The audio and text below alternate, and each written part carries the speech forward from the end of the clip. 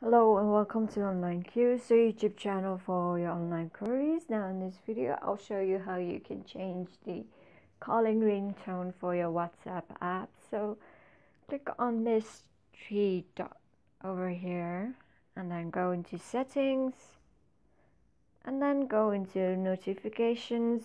Basically, you can change three ringtones on your WhatsApp app the first one you can change is your call notification which you need to scroll a bit on the bottom on your notifications page.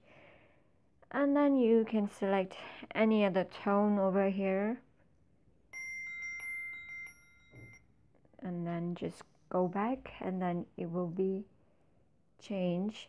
And then you can also change your group notification. Your group notification will be your group chat that you have going on on WhatsApp. So you can change it.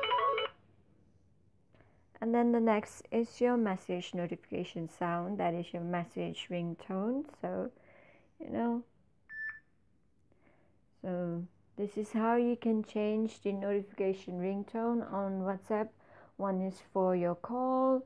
The next is for your group chat notification ringtone. And the next is for your message notification.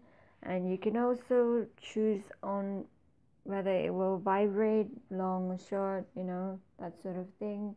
So thank you for watching. Please don't forget to subscribe like and comment on our channel